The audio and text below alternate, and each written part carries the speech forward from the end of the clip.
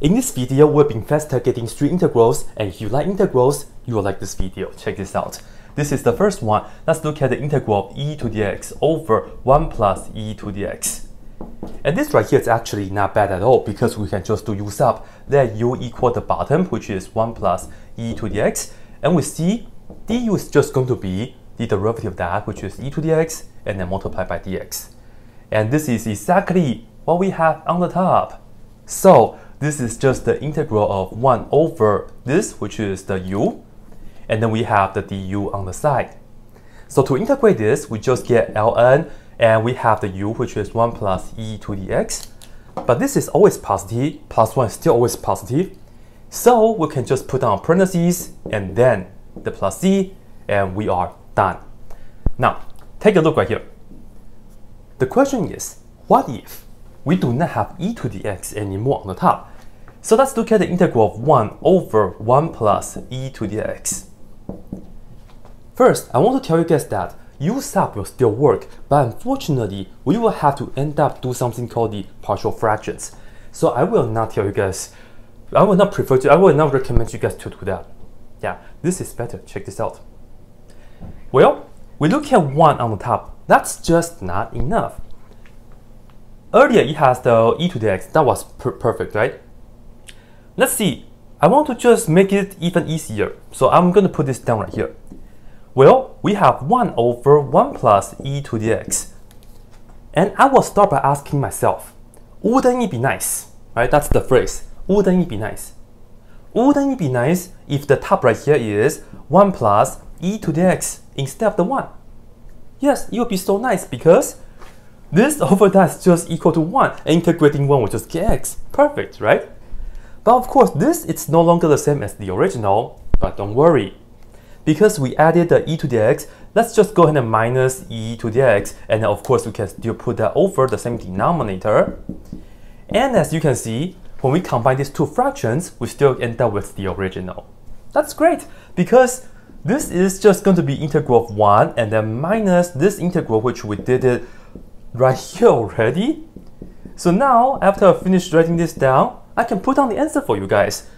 First part is x, the next part is minus ln parentheses 1 plus e to the x, and then we are all done. Put a plus c.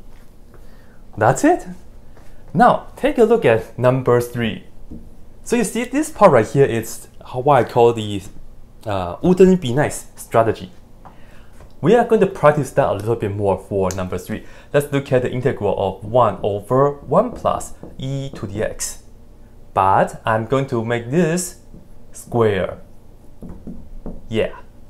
So let's see if we can still do the same thing for this one. Okay, so let me just write this down again. We have 1 over 1 plus e to the x, and then we have to square the denominator.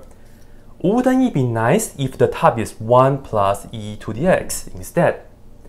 Yes, it's so nice because this and that can cancel, right? Well, we'll just have to do that we added the e to the x, so we will just have to minus e to the x and then divide it by the same denominator, namely 1 plus e to the x over, I mean 1 plus e to the x and then square, and then we have the dx. Now, this and that cancel, we have that to the first power, so we are lo looking at the integral, and this is just 1 over 1 plus e to the x. And let me close this integral right here, because we know the result over already. But for the second one, here we have a minus integral and we have e to the x over 1 plus e to the x and then square. Well, for this, we will have to do some work and let me just put that down right here for you guys real quick. We are going to do a little u sub. We are going to let u, so again, it's the whole thing right here. We are going to let u equal the inside, which is 1 plus e to the x, and we see du is just equal to e to the x dx which is what we have on the top right here. So now, this integral with the negative in front is just going to be 1 over u but square, and then we have the du on the side, like this. And of course, to integrate that, we can just look at this as perhaps already done right here. This is just the negative integral u to the negative 2 du. Okay, let's go ahead and add 1 to the power. We get negative 1, but divided by the new power, so I'll put it down right here. So this is actually just a positive integral, right? positive result. Okay, so the answer for that is positive. So I'm going to put that down right here. And u to the negative 1, which is just 1 over u. And the u is that, which is 1 plus e to the x.